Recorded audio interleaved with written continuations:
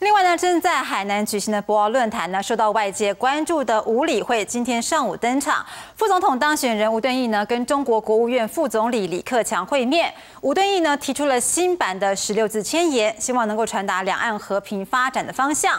而李克强呢，则是以两岸同是中华民族的说法，回应两岸经贸合作，避免敏感的国家地位问题。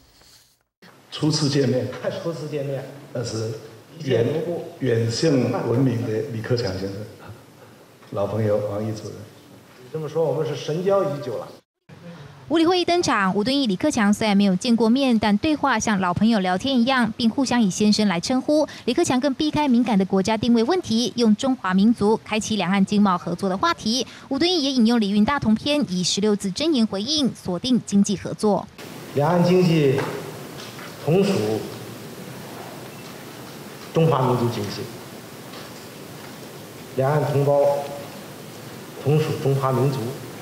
今年是承先启后、继往开来的一个关键的年。我们十六个字啊，十六个字，这是大家都能够理解的：求同存异，两岸和平，讲信修睦，民生为先。国台办主任王毅也摆出欢迎宴迎接吴敦义，并针对两岸后续交流，尤其是 A 克法未完成的协议，强调深化互信的重要。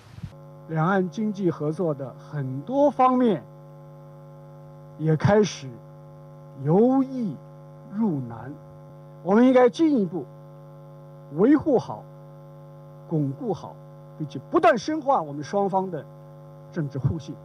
王毅强调，两岸经济合作已经开始进入由易入难的阶段。两岸未完成的投资保障协议和洽谈两岸货币机制，甚至两岸监理平台，都是两岸进展的优先重点。记者小郭俊林海南博鳌采访报道。